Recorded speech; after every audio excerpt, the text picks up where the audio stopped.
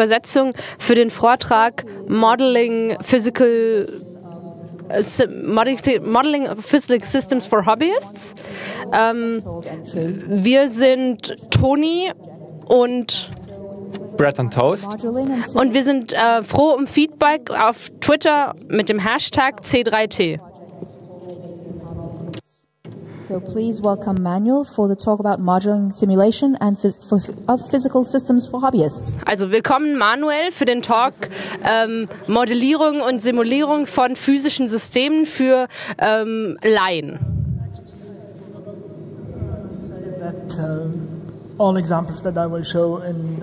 Was ich vergessen habe, ist, dass alle Beispiele, die ich euch zeigen werde, könnt ihr einfach runterladen auf der Webseite. Also wenn ihr euch das, wenn ihr das mal ausprobieren wollt, jetzt oder wann anders, ihr könnt das sofort machen.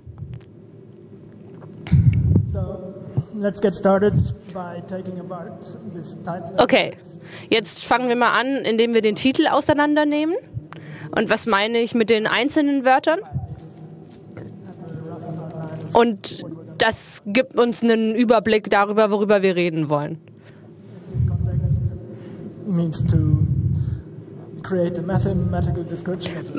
Modeling hier bedeutet eine mathematische Beschreibung eines Systems zu erstellen. Also wir schauen uns die Physik eines Roboters zum Beispiel an. Was für physische Parts gibt es? Welchen physischen Mechanismus? Und wir holen die Effekte und Gleichungen raus. Die, und die Gleichungen, die diese Effekte beschreiben. Und dann kriegen wir eine mathematische Beschreibung dieses Systems. Simulation bedeutet, dass sobald wir dieses System beschrieben haben, dieses Modell, dann benutzen wir den Computer, um da ähm, Berechnungen anzustellen, Schritt für Schritt. Und im Prinzip von einem Initialstadium weiter zu denken, wie wird das über die Zeit sich entwickeln. Und in diesem Talk werde ich jetzt reden über physische Systeme, also Hardware, die man, ähm, die man einfach erstellen kann und nicht irgendwas Fiktionales, sondern was, das man wirklich in der Hand halten kann. Also zum Beispiel ein mobiler Roboter, eine Drohne. Also als jemand, der etwas erstellt, als ein Maker, das du vielleicht erstellen möchten würdest. Und ich mache das für Laien.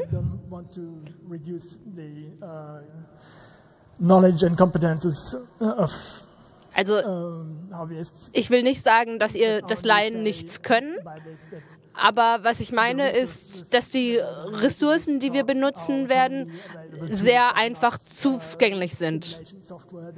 Es ist nicht irgendwie Simulationssoftware, die man kaufen muss für viel Geld. Uh, so, uh, maybe a quick round, like uh, who did. Uh, okay, jetzt ähm, eine kurze Frage. Wer von euch hat Mathekurse an der Uni ähm, besucht? Okay, ganz schön viele.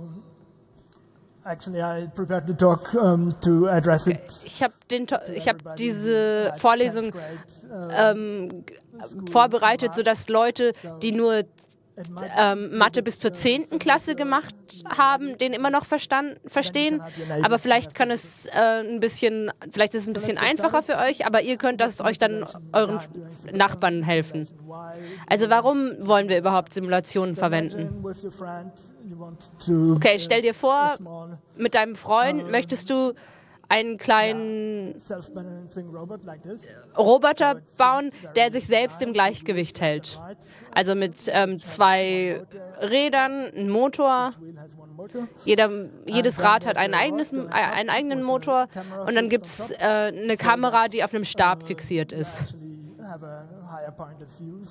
Und dann hat man und dann hat, hat dieser Roboter sozusagen einen, einen höheren Sichtpunkt. Und das ist sozusagen ein, un, ein ähm, inverted Pendel. Also wenn man das einfach so aufbaut, dann würde das einfach umfallen. Aber es ist relativ einfach, das umzusetzen. Also du willst das mit deinen Freunden bauen und ihr seid relativ gut beim Programmieren, äh, und, aber, nicht, aber ich bin nicht so gut mechanisch und der Freund sagt, okay, ich werde die Hardware aufbauen. Aber wie kann ich jetzt die Software entwickeln, bevor die Hardware fertig ist? Und das ist, wo Simulation euch helfen kann. Zum Beispiel?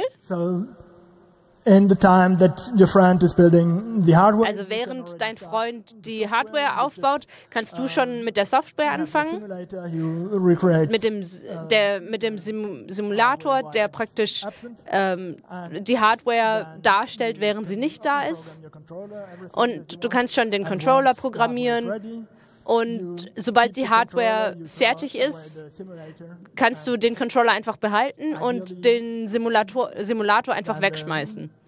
Und wenn alles gut läuft, funktioniert das dann und es läuft dann alles gut und das System ist dann fertig. Hier ein Beispiel mit Python, ein kleiner Simulator. Ihr könnt euch den Code online runterladen. Okay, ihr seht hier, der, die Simulation läuft schon, aber es ist tatsächlich schon äh, sehr aus, im, im, Gleichgewicht. Das heißt, es bleibt stehen. Wenn ich jetzt aber ähm, ihn in die eine oder andere Richtung ein bisschen anstupse, dann fällt er um. Jetzt kann ich den Controller ähm, aktivieren und es ein bisschen nach rechts und links pushen und der Controller wird dafür sorgen, dass er wieder ins Gleichgewicht kommt. Und der Controller ist der, der Teil, den du selbst in Software schreibst. Und der, der, der, der Teil, der umfällt, ist die Hardware, die dein Freund bauen würde. Und der Teil, der bleibt, das ist irgendwie das, was du machen würdest. Und das ist so ein Beispiel, was du machen könntest mit diesen Methoden. Okay. The problem is I don't have that much time. Okay, das Problem ist, ich habe nicht so viel Zeit hier. Deswegen werde ich nicht irgendwie alles extrem erklären. Und wir werden einfach mal schauen, wie weit wir kommen. Also um mal ähm, das zusammenzufassen, Simulation kann im Prinzip ähm, als die Hardware kann genutzt werden als Ersatz für unsere Hardware und als virtuelles Testlabor und äh, vor allen Dingen dann, wenn man nicht unbedingt das Ganze nicht unbedingt mit der echten Hardware ausprobieren möchte, weil die Hardware dann kaputt gehen würde. Okay. Jetzt erstmal einen Schritt zurück ähm, vor dem Modellieren. Was sind so die grundsätzlichen äh, Formeln. Stellt euch mal vor, das ist hier Newton und, unser Ab und sein Apfelbaum. Und was würde passieren?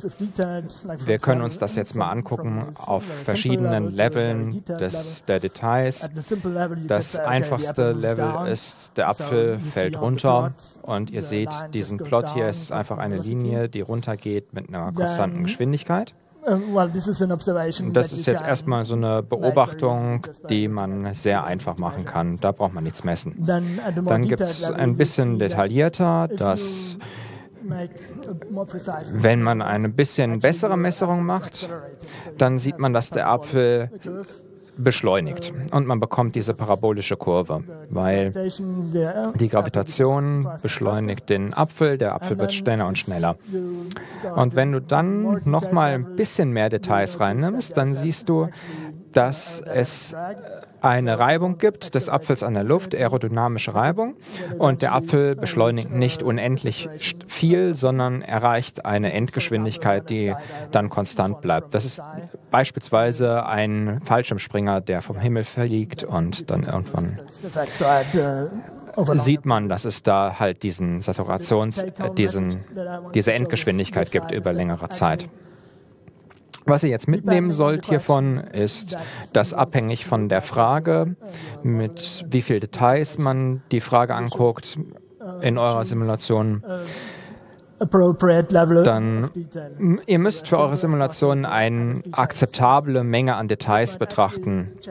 Und das kann von System zu System sich ändern. Beispielsweise könntet ihr einfach nur interessiert sein am Verhalten ganz zu Beginn. Das heißt, ihr müsst nur diese, die Beschleunigung betrachten. Und später könntet ihr euch fragen, was passiert später, wenn die Geschwindigkeit konstant bleibt.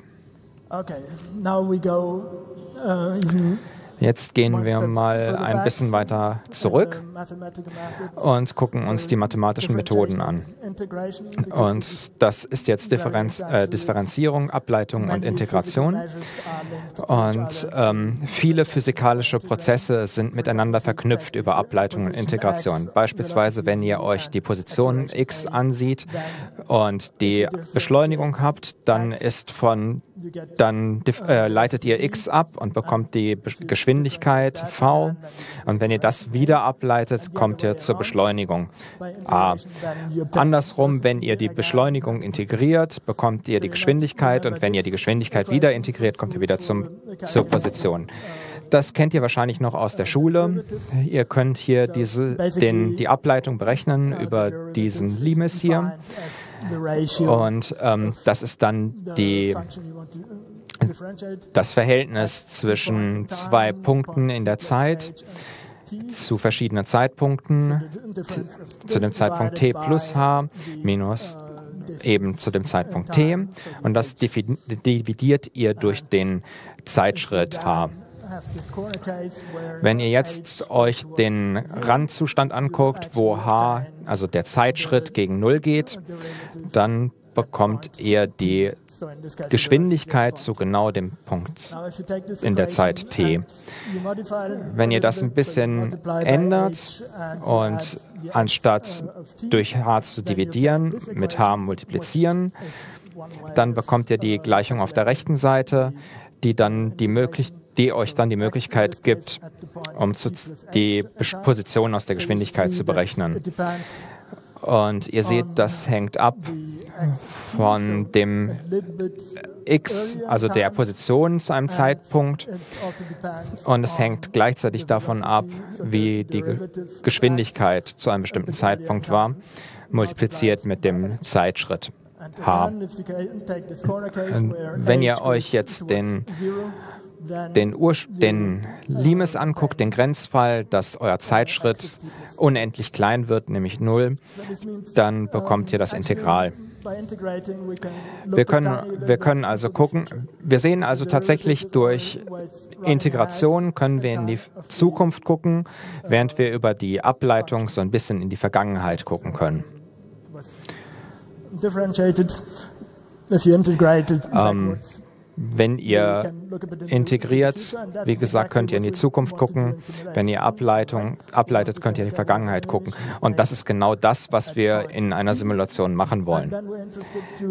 Wir gucken uns die Position zu einem Punkt zu einem Zeitpunkt t an und wollen wissen, was passiert am nächsten Zeitpunkt. Wir wollen also integrieren in dem Fall, nicht ableiten. Das einzige Problem, was ihr da habt, ist, dass dieser Grenzfall, den Mathematiker benutzen, wo der Zeitschritt unendlich klein ist, können wir, für, können wir einfach nicht als Software schreiben. Deshalb ähm, müssen wir etwas anderes benutzen, nämlich die sogenannte Euler-Methode. Und das bedeutet, wir ersetzen den Grenzfall mit h gegen 0 durch ein, durch ein h, das einen tatsächlichen Wert hat, der sogenannte TS. Das ist unsere Sampling-Periode, äh, unsere Sampling Samplingzeit. Und dafür nehmen wir einen kleinen, aber halt eben begrenzten Wert. Und dann mit dieser Sampling-Periode TS werden wir als nächstes jetzt die Punkte in der Zeit durch Integration berechnen. Wir bekommen dann also k, den Index, und berechnen aus diesem k den Punkt in der Zeit. Das ist dann die sogenannte Diskreti Diskretisierung. Und wir transformieren dadurch die obere Gleichung in die untere, indem wir, wenn wir diese dann wiederum durch TS dividieren, bekommen wir die folgende, die folgende Gleichung, die dann sagt, x von k plus 1 ist gleich x von k plus v, die Geschwindigkeit von k zum Zeitpunkt k multipliziert mit, der, mit dem Zeitschritt ts. Ich zeige euch jetzt mal ein einfaches Beispiel in, diesem, in dieser Tabelle hier. um euch zu zeigen, dass es relativ unabhängig ist von welcher Software, davon, welche Software ihr benutzt. Wir definieren jetzt ein paar Konstanten auf der linken Seite, eine Sampling-Periode von einer Millisekunde. Wir haben es in Sekunden, also 0.001 Sekunden. Wir haben den Index, wir haben die Zeit, wir nennen den Index k und die Zeit t, wir haben die Position x und wir haben die Beschleunigung, die, äh, die Geschwindigkeit, die nennen wir v. Jede Zeile wird hier jetzt ein Punkt in der Zeit sein. Und zu Beginn setzen wir alles einfach auf Null. So wie das, was wir gerade sehen. Okay, so was machen wir als nächstes? Wir haben diese Formel und wir brauchen also ein k plus 1. Das nächste k ist das vorhergehende plus 1 und die Zeit. Ich habe jetzt die Formel abgedeckt, tut mir leid. Die Zeit, die wir jetzt haben, ist genau dieser Index multipliziert mit der, mit der Sampling-Periode. Wir benutzen die Dollarzeichen dafür, damit, sich, äh, damit das Ganze gleich bleibt, wenn wir die Zeile ändern.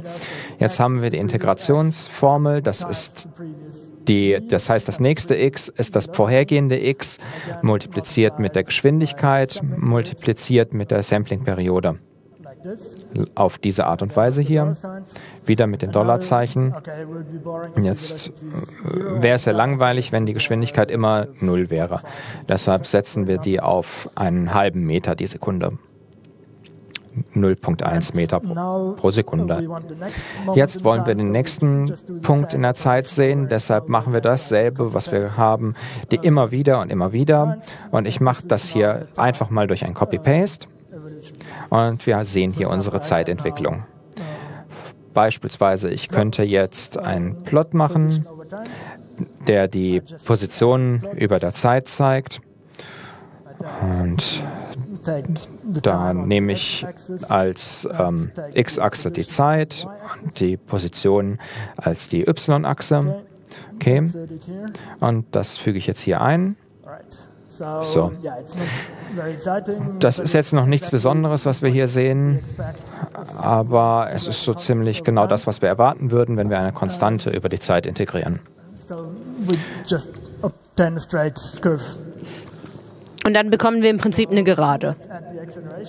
Jetzt können wir noch die Beschleunigung hinzufügen, die wir a nennen. Wir fangen mit 0,5 an. Jetzt. Und was wir jetzt machen, ist, wir benutzen diese Formel, die wir vorhin verwendet haben. Also wir benutzen die Formel für die ähm, Geschwindigkeit. Und jetzt können wir diese Zeile einfach kopieren. Ähm, Und jetzt können wir das im Prinzip noch mal ein paar Mal machen.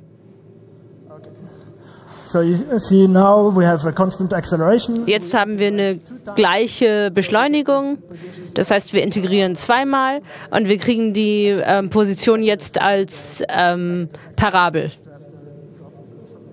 Okay, ich hätte die ähm, Beschleunigung negativ machen können, dann hätten wir das gleiche gehabt wie vorhin mit dem Runterfallen. Das ist bis jetzt noch nicht ganz so nützlich, aber wenn wir jetzt sagen, die, die Beschleunigung ist nicht irgendwie konstant, sondern wir haben eine Beschleunigung, die sich verändert, dann kann ich so, ohne dass ich irgendwas weiß, wissen muss über die äh, ähm, Form der ähm, Beschleunigung, kann ich es immer integrieren, auch wenn ich irgendwie das, ähm, auch wenn ich zufälligen Input habe oder Sensor-Inputs. Okay. Aber jetzt wollen wir auch was modellieren.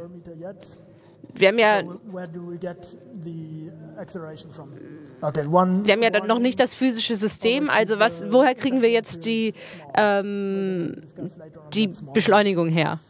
Okay, eine Sache noch. Es ist wichtig, dass wir die Sampling-Periode immer klein halten. ähm, wir werden jetzt nicht irgendwie alle physischen Sachen ähm, ähm, in, zusammenfassen, sondern stattdessen werden wir, e-, werde ich eben nur bestimmte Dinge machen. Also zum Beispiel, wenn ich jetzt einen ähm, Lever-Arm habe. Also wenn ich jetzt, ich fang, wir fangen mit der kleinsten, mit der einfachsten Version an. Eine Masse, die sich bewegt. Die Masse hat die Masse m und die Geschwindigkeit v. Und wenn ich jetzt dieses, diese, diese Bewegung verändern möchte, dann brauchen wir eben eine Kraft F. Und das ist die zweite äh, Regel de, der Bewegung. Also die ähm, Kraft, die wir brauchen, ist proportional zu der Masse. Okay, ich muss noch ein bisschen schneller werden, weil ich nicht mehr so viel Zeit habe. Okay. Die gleiche Gleichung für lineare äh, Bewegungen gibt es auch für ähm, Bewegungen, für drehende Bewegungen. Und wir haben dann auch das Gewicht. Das hatten wir zum Beispiel im Beispiel des Apfels. Die, die, die Kraft des Gewichts ist praktisch die Masse mal das Gewicht mal die Gravitation. Ähm, und andere Effekte, die man haben kann, sind zum Beispiel ähm, Federn und die Kraft, die Federn auslösen. Ähm, wenn man in, zum Beispiel in einer Bremse, wenn man zum Beispiel einen harten Kontakt modellieren möchte, dann, ähm, wie ich zum Beispiel am Anfang hatte, ein Beispiel äh, der Roboter, der sich, der umfällt und auf den Boden fällt. Und dann ähm, sagt man, die Härte ist relativ äh, hoch. Also, die, wir gucken uns das jetzt nochmal an, wir kombinieren, wir wollen Einfach nur für das Beispiel wollen wir eine Dämpfung haben. Wir, haben, wir setzen also hier Gravi die Gravitationskraft ein und eine, ähm, eine Feder, eine Federkonstante und eine Dämpfung, eine Dämpfungskonstante. Und was ich jetzt hier nicht gesagt habe, ist, dass diese Kraft hier, dieses F, uh, nicht unbedingt eine Kraft sein muss, sondern auch das Ergebnis von vielen Kräften ist. Das bedeutet, man hat hier möglicherweise mehrere Vektoren, die man miteinander addiert. Und bekommt dadurch verschiedene, verschiedene Kräfte. Also was wir jetzt hier machen, ist, wir summieren die ganzen Kräfte auf, also von über die Gravitation, die so jetzt ist das natürlich eine Konstante. Ich brauche für die Gravitation jetzt also noch die Kraft. Ähm, und da setze ich dann als Masse ein halbes Kilo ein und für die Federkonstante sagen wir jetzt einfach mal, die sei 100. Das sind 100 Newton pro Meter. Newton pro Meter ist die Einheit. Für die Dämpfung setzen wir mit der Einheit Newton mal Sekunde pro Meter die Einheit auf 10. Und jetzt habe ich alle Parameter einfach mal so zufällig reingesetzt. Aber wenn ihr ein System designt und eine Simulation designt, dann könnt ihr euch euer System angucken und die Werte von, aus dem System dann rausziehen, was ihr wirklich baut. Jetzt habe ich sie einfach mal einfach zufällig rausgewählt. Also wir haben die Gravitation. Wenn wir hier reingucken, ist die Masse m mal ein kleines g, die Gravitationskonstante, und das ist die sehr gut bekannte 9.81 Meter pro Sekunde. Und dann setze ich jetzt mal die Masse da ein. Die wird multipliziert mit der Gravitationsbeschleunigung. Äh, ich füge nochmal die Dollarzeichen da ein, damit das konstant bleibt. Dann habe ich meine ähm, Feder. Ich habe ja gesagt, es ist, ich sagte vorher schon x0, also der Startpunkt ist 0. Deshalb setze ich hier nur die aktuelle Zeit ein, also minus die Federkonstante mal die Position. Now what you see here, what I didn't say, but if you know a little bit about physics and math, Und was ich jetzt nicht erzählt habe, ist, dass man sieht, dass das, wenn man Mathe kennt, dass das eine Differentialgleichung ist, die wir hier lösen. Aber ihr müsst euch da jetzt nicht zu viel Sorgen drüber machen, weil dass die Euler-Methode kümmert sich schon darum, dass wir, keine, dass wir die Differentialgleichung richtig lösen. Okay, also ich nehme jetzt hier die, Dämp die Dämpfungskonstante multipliziert mit der Geschwindigkeit. Und okay.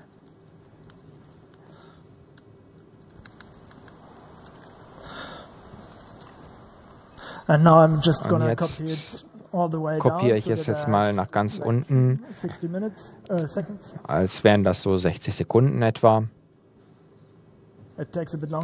Das dauert jetzt halt ein bisschen länger, weil Okay, and actually what you see here tatsächlich, was, du, was ihr jetzt hier seht, ist what I said before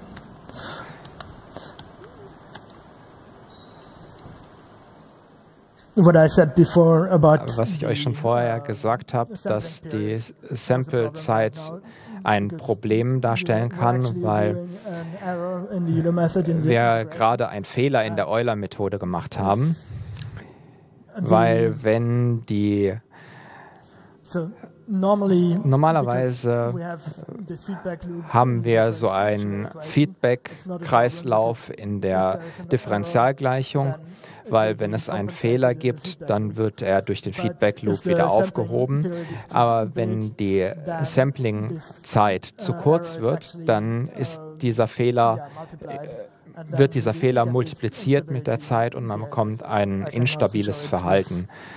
Das kann ich euch jetzt noch mal größer zeigen. Wenn ich, wenn ich jetzt nur eine Hundertstel Sekunde nehme, dann sieht man, dass die Werte unendlich groß werden. Und meine Simulation ist dementsprechend nicht robust über lange Zeiten. Deshalb, wir brauchen also eine kurze Samplingzeit, denn sie wird ansonsten, äh, ansonsten bekommen wir diesen Fehler. Wenn die Samplingzeit zu groß ist, wird die Simulation instabil. Ich habe jetzt also einen kürzeren Wert gewählt, was jetzt natürlich ein Problem ist, weil ich jetzt nur noch sech, äh, sechs Sekunden statt 60 simuliere. Aber was man sieht, man muss immer so ein, eine Abwägung machen zwischen der Komplexität des Modells und der Genauigkeit, die wir ausrechnen können. Und ja, the robustness of the simulation. Die, außerdem noch, natürlich muss man einen Trade-off machen in Bezug auf die Sorry? Robustheit der Simulation. Es kommt gerade eine Frage aus dem Raum, den man im Stream leider nicht hört. Uh, okay, so the question was whether Also, this was a die Frage war, ob das eine Resonanz war. Yeah, right. Um, Genau, also in der Okay, Theorie, maybe I made an error in my calculations. okay, ich habe jetzt möglicherweise hier einen Fehler in der Berechnung gemacht und ich zeige euch jetzt einfach die, die ich vorbereitet habe vor dem Talk. Okay, ich it jetzt einfach mal die, die ich korrekt vorbereitet habe. Weil da war Ähm, ganz oft nicht ein Fehler, den ich gerade gemacht habe. the Okay, das hier ist jetzt der Effekt, den ihr erwarten würdet. Man startet an einer bestimmten Position, dann hat man diese Oszillation für die ähm, Feder, die immer wieder zurückspringt. Erst nach außen, dann zum Zentrum, dann wieder nach außen. Und äh, diese Schwingung wird dann immer schwächer mit der Zeit. Ich uh, habe jetzt so langsam leider wirklich keine Zeit mehr, deshalb ich wollte eigentlich noch ein bisschen elektronische Beispiele bringen aus der Elektrodynamik, um euch einen elektrischen Motor zu zeigen. Ich kann euch das jetzt noch mal schnell zeigen hier in der in slides. in den vorbereiteten Folien. Das Nette, was man beim it, elektrischen uh, Motor hat, ist, dass man hier sieht, wie man Probleme löst, die zwei, zwei verschiedene also see, Gleichungen haben, die uh, miteinander verknüpft sind. Beispielsweise dieses Beispiel hier, da hat man, da betracht, zieht man jetzt auch noch mit in Betracht, dass es ein Physik, also wo man ein zusätzliches physikalisches physikalischen Effekt mit einbezieht oder eben auch nicht. Wie gesagt, ihr könnt euch das alles von meiner Website runterladen und euch angucken wenn ihr wirklich interessiert seid. Okay, das bringt mich jetzt noch zum Ende vom Vortrag und ich sage euch jetzt noch ein paar Tipps und Tricks. Die Sampling-Periode muss ziemlich klein sein.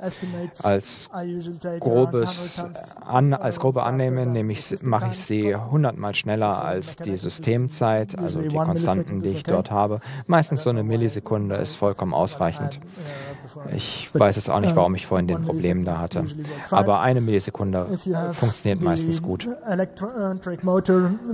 wenn ich jetzt den elektrischen Motor mit der, Peri ähm, mit der Spule habe, dann brauche ich meistens mit so einer Zeit von 10 Millisekunden, dann muss ich eine kürzere Periode nehmen. Okay, dann als zweiter Punkt ist, benutzt, benutzt Blockdiagramme. Das hier ist ein sogenanntes Blockdiagramm. Das hilft euch, wenn ihr, wenn ihr ähm, halt im Blick behalten wollt, welche Größen welche anderen beeinflussen. Okay, das ist jetzt natürlich am Anfang ein bisschen schwer zu lesen, aber wenn ihr da euch ein bisschen dran gewöhnt, dann wird es ziemlich hilfreich. Und wenn ihr dann euch sicher sein wollt, dass ob ihr komplexere Modelle braucht, die ihr so nebenbei braucht, dann könnt ihr beispielsweise SciPy benutzen oder OpenModelica. Das sind dann differenzielle Gleichungslöser. Ähm, and, oder Scilab, das ist grafisch und da könnt ihr einfach Blöcke hinzufügen, die dann dafür die das dann für euch erledigen. Dort könnt ihr dann diesen Block, dieses Blockdiagramm einfach benutzen, anstatt Gleichungen zu schreiben. Also wie ich gesagt, die, diese spezialisierten Tools haben bessere Löser für die ähm, Differentialgleichungen. Die sehen also eher, wann es ähm, wichtig ist, diese ähm, Sampling-Periode klein zu machen. Und was auch sehr, sehr hilft, sind diese netten Data-Logging- und Visualisierungstools, die man da bekommt. Ansonsten ist es manchmal wirklich etwas nervig, dass die Variablen alle im Kopf zu behalten und die alle irgendwie darzustellen. Okay, so okay. Okay, ich glaube, ich habe mich jetzt so lange beeilt, so stark beeilt, dass ich immer noch ein bisschen Zeit habe. Deswegen kann ich jetzt noch mal ein bisschen was zeigen, wie das ähm, funktioniert mit einer kostenlosen Software. Eine ähm, und ein grafisches Tool, um Open Modelica zu benutzen. Und Open Modelica selbst ist auch ein Modellierungsprogramm und eine ähm, Programmiersprache zum Definieren von Modellen. Okay, irgendwie funktioniert das jetzt gerade alles nicht. Es startet nicht so wirklich. Dann kann ich euch stattdessen den Python-Code zeigen des Simulators, den ich äh, euch am Anfang gezeigt habe.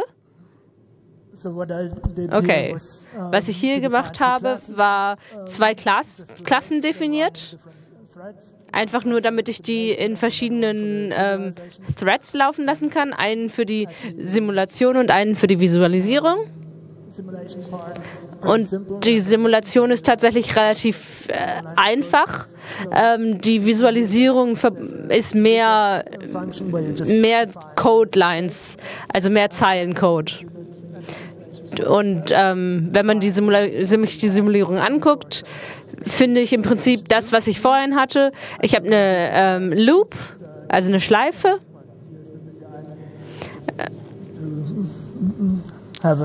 Oh, einfach nur im Prinzip, um so zu tun, als würde ich ähm, echte Zeit simulieren. Und hier benutze ich die Euler-Methode, um zu integrieren. Äh, und Plus, da ist einfach nur die Plus ist gleich ähm, Notation, also self.theta plus ist gleich irgendwas bedeutet eben self.theta ist gleich self.theta plus Omega mal TS. Und hier haben wir jetzt die äh, Rotationsgeschwindigkeit, dann die, die verschiedenen Taugeffekte. Das sind, äh, äh, die, in diesem Fall geht es also um die ähm, rotierende Version und nicht die visualisierte. Und hier ist jetzt zum Beispiel der Controller, äh, den ich jetzt nicht schön geteilt habe, aber ähm, ihr solltet das immer machen, den schön aufteilen in verschiedene Bereiche. De und das gleiche nochmal für die linearen Bewegungen. Okay. Die Zeit ist vorbei, aber äh, wir nehmen jetzt noch ein paar Fragen. Because we do have time for questions. Out in the room, there are microphones. Please, if you have any questions, stand behind one of the microphones. Also wenn es Fragen gibt, dann bitte einfach ähm, hinter die Mikrofone stellen. Question.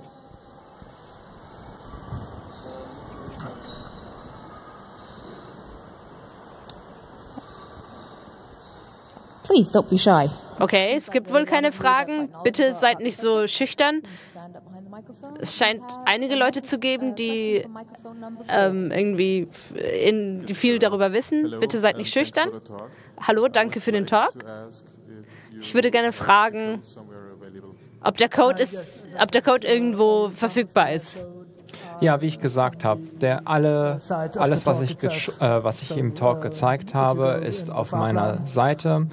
Ähm, wenn ihr auf den Fahrplan geht, dann gibt es dort einen Link zu, dem, zu der Seite, wo ihr den Code runterladen könnt. Gibt es da noch weitere Beispiele online? Also nicht von mir, aber es gibt sicherlich Millionen von Beispielen. Nur in diesem, für diesen Talk habe ich jetzt nur das, was ich gezeigt habe, erstellt. Ich habe vielleicht noch einen, noch eine mehr, eine mehr, nämlich den Fall mit, mit Reibung. Okay, ja, das ist so der, der Fall mit Reibung. Okay, eure Chance share the answer to your question with the rest of us, please get up to one of the microphones. And are there any questions from the Internet? There is no signal from the. Sind da Fragen aus dem Internet? Nee, finden wir nicht. Is there a question from the Internet? No. Good. Well, let's give Marius, let's give uh, Manuel a big round of applause. Thank Jetzt ähm, vielen Dank Manuel für den Talk. Und das war jetzt unsere